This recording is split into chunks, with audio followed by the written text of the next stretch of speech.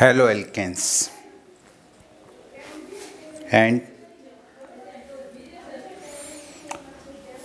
halo alkanes जो होता है इसके अंदर हेलो एल्केन्स जो होते हैं उनको हम लोग एल्केन के डेरिवेटिव्स मानते हैं एल्केन के डेरिवेटिव में स्वाट जिसके अंदर एल्केन्स एंड एरिन्स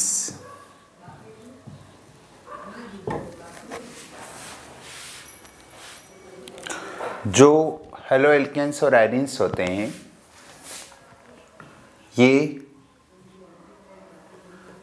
जो एल्काइल एल्केन होते हैं उसके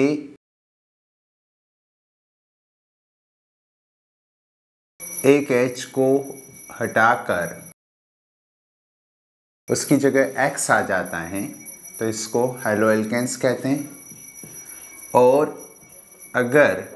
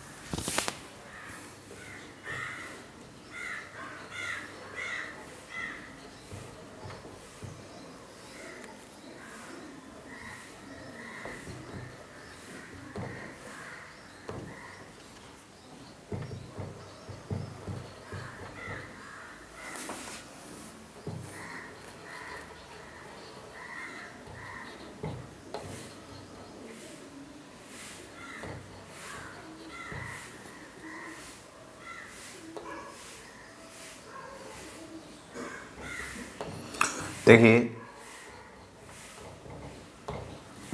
क्या लिखा है मैंने जो मोनो सब्सटीट्यूटेड है उनको हमने क्लासीफाई किया halogen at S P three hybrid carbon of alkane and S derivative दूसरा at S P three but next carbon is S P two halogen at sp3 but next carbon is sp2 in benzene ring or aniline, halogen at sp2 and next carbon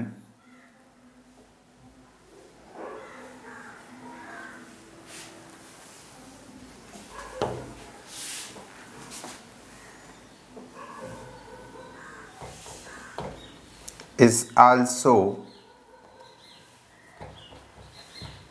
sp2 aryl halogen at sp2 benzene ring carbon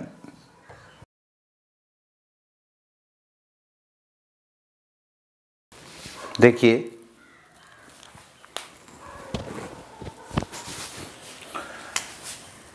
ये जो compounds होते हैं इनका हम general structure इस तरीके से बनाते हैं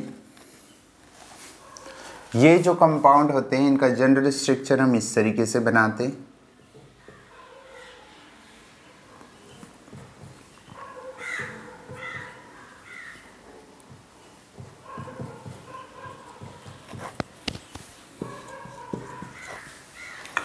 ये कंपाउंड जो होते हैं इनका जनरल स्ट्रक्चर इस तरीके से बनाते हैं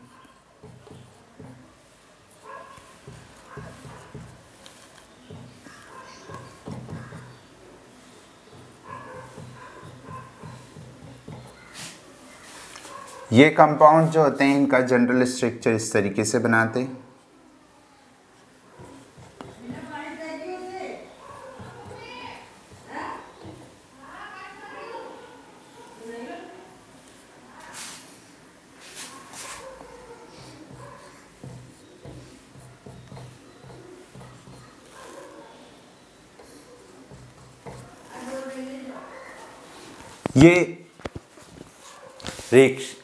क्लासिफिकेशन होता है ठीक है अब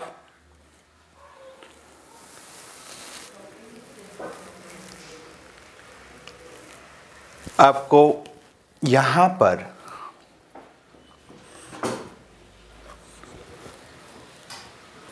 फिर से इसको हम क्लासिफाई कर सकते हैं कि अगर यहां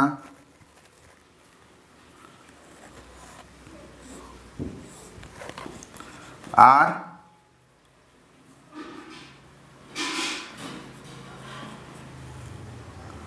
इसको वन डिग्री कहेंगे अगर यहां दो एल्काइल ग्रुप तो हो तो इसको टू डिग्री कहेंगे यहां थ्री एल्काइल ग्रुप हो तो इसको थ्री डिग्री कहेंगे फर्दर हमने इसको क्लासिफाई कर दिया तो ये आपके पास जो है क्लासिफिकेशन है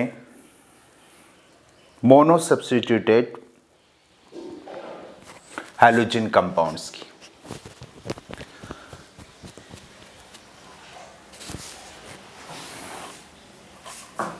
इस कैटेगरी में हम लिख सकते हैं सीस टू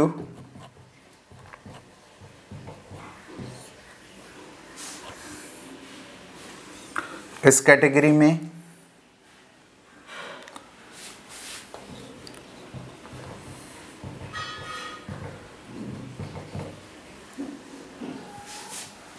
यहां पर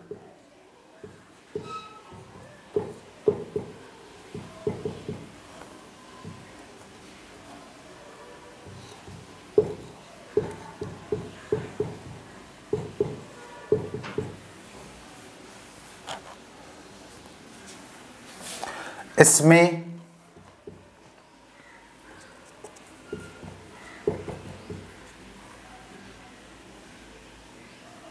विनाइलिक हाइलाइट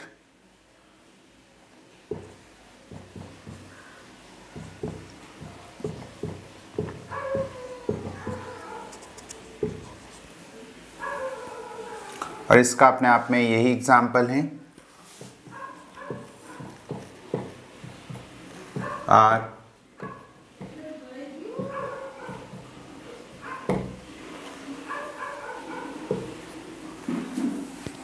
समझ में आ गया ये सबसे डिफरेंट टाइप के मोनो सब्सिट्यूटेड हेलोजन डेरिवेटिव्स होते हैं अगर डाई सब्सिट्यूटेड हैं तो फिर उनको क्लासिफाई करेंगे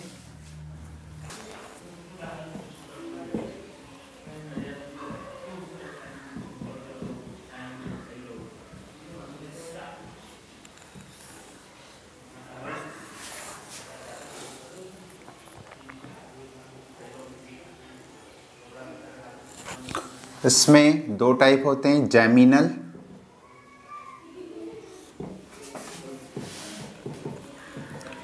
विसिनल एंड आइसोलेटेड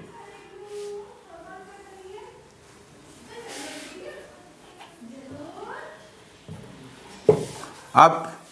ट्रिमिनल किसको कहते हैं अगर दोनों ही हेलोजिन एक ही कार्बन पर हो तो उसको जमीनल कहते हैं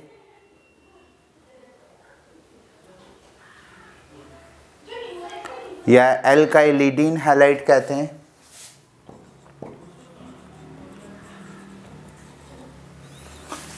इसको एल्काई लीडीन हैलाइट कहते हैं अगर दो एडजस्टेंट कार्बन पर हो तो इसको विसिनल कहते हैं और इसको एल्काइलिन डाइहेलाइट कहते हैं एल्काइलिन डाइहेलाइट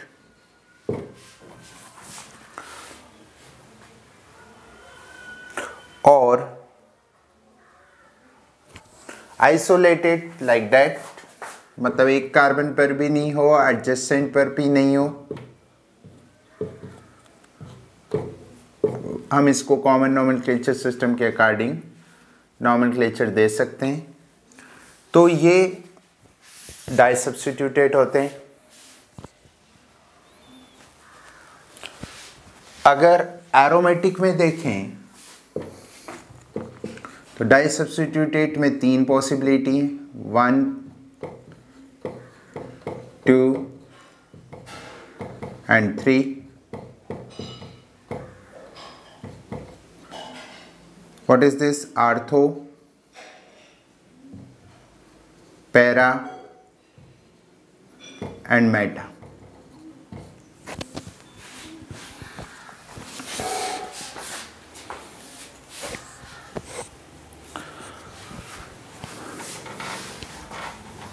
तो ये क्लासिफिकेशन है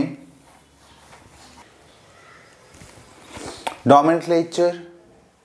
आप जानते हैं कि जो हेलोजिन्स होते हैं उनको एज ए प्रिफिक्स यूज करते हैं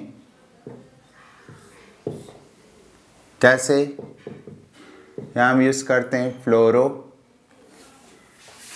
क्लोरो ब्रोमो आयोडो इस तरीके से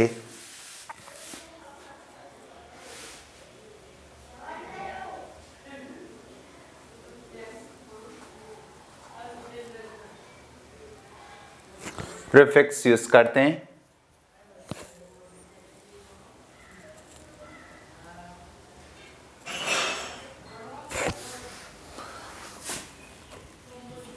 ये कंपाउंड हैं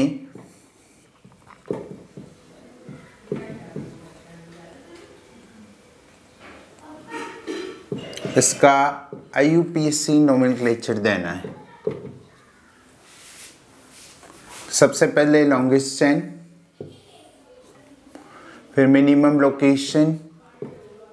तो हमारे पास हुआ वन क्लोरो अल्फ़ाबेटिकली क्लोरो पहले one chloro two methyl and that is what butane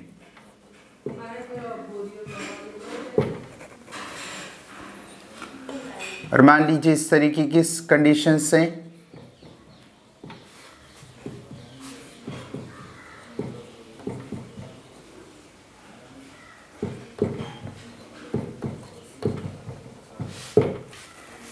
minimum location इधर से लॉन्गेस्ट चेन ये हो गई मिनिमम लोकेशन इधर से भी टू इधर से भी टू फिर हम कहेंगे one two one two three four five six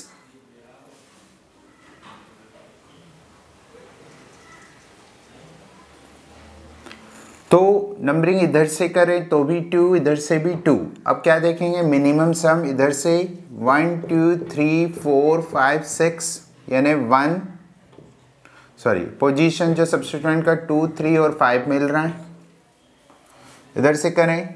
one two three four five and six two four and five कौन सा सम ऊपर वाला करेक्ट है इसका मतलब ये नॉमन हम यूज़ नहीं करेंगे तो फर्स्ट वन है वही करेक्ट है मिनिमम सम वहाँ से आ रहा है क्या नेम देंगे भाई इसका अल्फ़ाबेटिकली क्लोरो और मिथाइल में कौन आता है क्लोरो तो five chloro two three dimethyl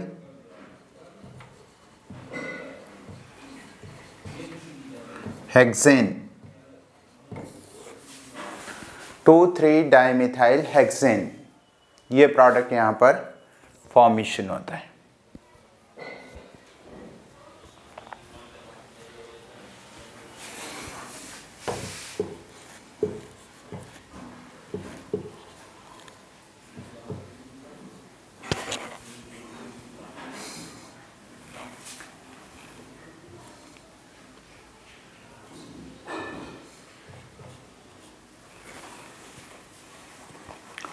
इसको हमको नॉमल करना है इधर से अगर नंबरिंग करेंगे तो इसको वन टू थ्री फोर यानी one plus three plus four इधर से नंबरिंग करते हैं वन टू थ्री फोर यानी one plus two plus four यहाँ से अगर नंबरिंग किया यहां यहाँ से नंबरिंग करते हैं मतलब क्लोरीन को फर्स्ट दिया यहां मैंने आयोडीन को फर्स्ट दिया अब ब्रोमीन को फर्स्ट देकर बताता हूँ ब्रोमीन को फर्स्ट दे तो one two three four and five one plus three one plus two plus five अगर हम किसको नंबर फर्स्ट देते हैं ब्रोमीन को one plus three plus five ये हो रहा है एट सेवन ये नाइन मिनिमम सम कहाँ से हो रहा है आयोडीन से लोकेशन सब वन मिल रही हैं तो starting should be from iodine one two three four क्या नेम देंगे इस कंपाउंड का alphabetically two bromo four chloro and iodo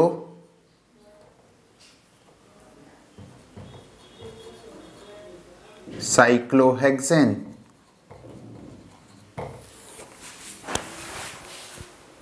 समझ में आ रहा है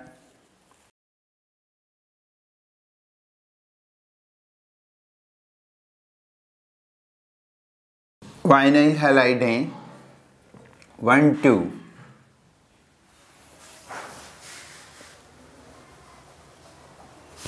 क्या कहेंगे वन क्लोरो इथिन लेकिन अगर डबल बॉन्ड और इसमें सिलेक्शन करना है कि नंबरिंग किसको देना है So no doubt double bond is a, treated as a functional group 1, 2, 3, 4. 4 chloro and butene. what is the UPSC name of this one?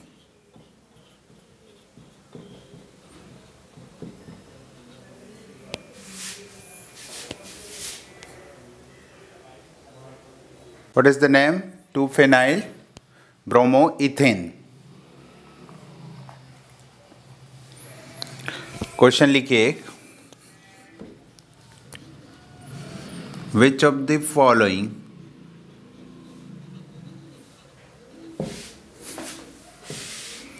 is incorrect IUPAC name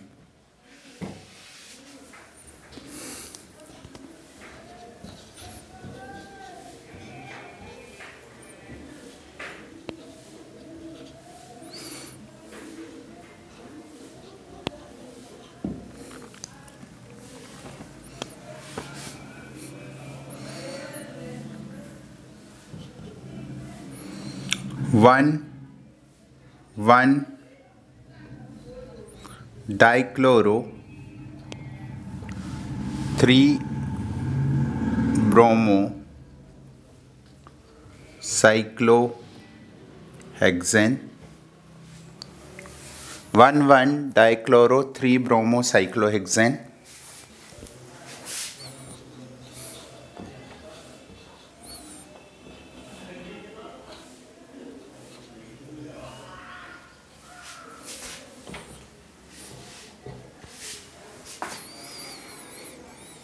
1 fluoro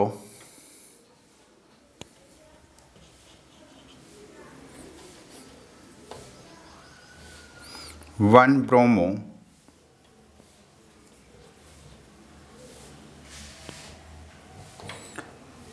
two chloro two chloro sorry two chloro two fluoro cyclo correct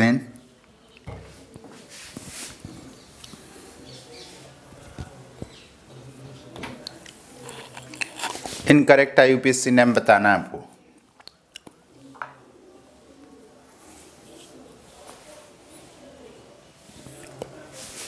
third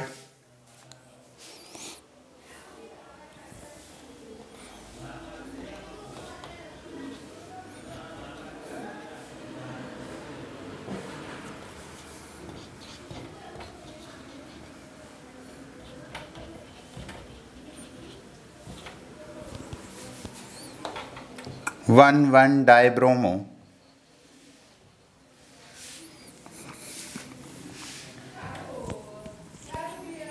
but butene D none बताइए incorrect I IUPAC name बताना आपको पहला सही है भाई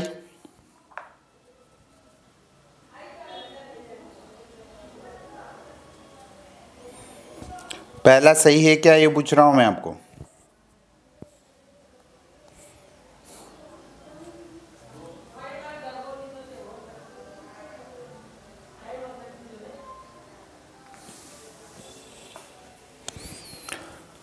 कहाँ से numbering करेंगे पहले में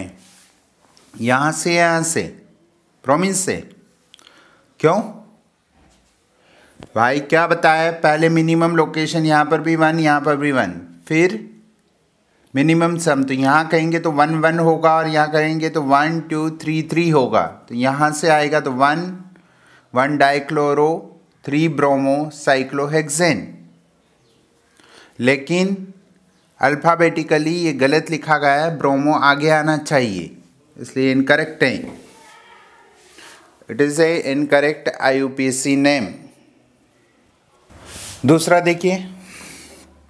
वन ब्रोमो फिर यहाँ मिनिमम सम यहाँ से आएगा इसलिए ये भी इनकरेक्ट है इसमें आप प्रायोरिटी यह देंगे one two three four five यानी वन वन डायब्रोमो नहीं आएगा वन फोर फोर डायब्रोमो आएगा इसलिए ये भी इनकरेक्ट आंसर क्या हुआ ए बी सी समझ में आया लगता है हमको कि सभी करेक्ट है लेकिन कोई भी करेक्ट नहीं है आगे बढ़ते हैं आइसोमेरिज्म क्या क्या हो सकते हैं हेलो एल्केन्स के अंदर what are the possible isomerisms in halo alkanes isomerism इसमें हो सकता है chain like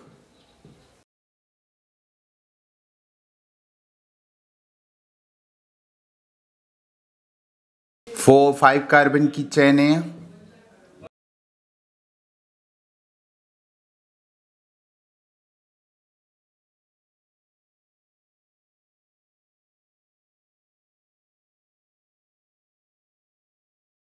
फोर कार्बन की चैन है तो हम इसको कहेंगे ये चेन आइसोमेरिज्म हुआ पोजीशन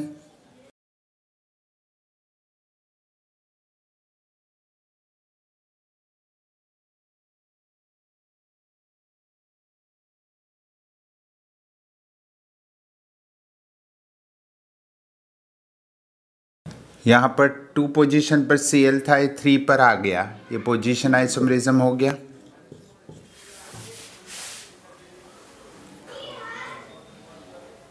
तो चेन आइसोमरिज्म और पोजीशन आइसोमरिज्म हेलोजन के थ्रू हो सकता है हेलो एल्केन्स में हो सकता है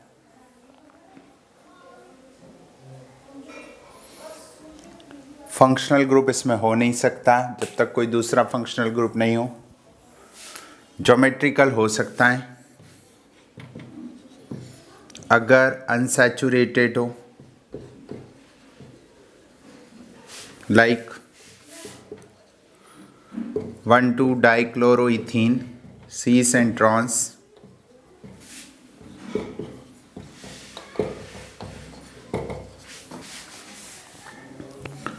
और ऑप्टिकल भी हो सकता है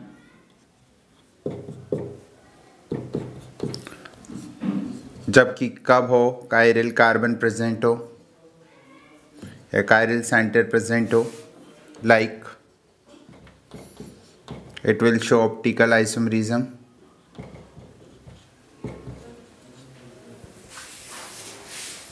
तो ये आइसोमरिज्म यहाँ पर पॉसिबल होते हैं haloalkanes में. Now we discuss the method of preparation of haloalkanes.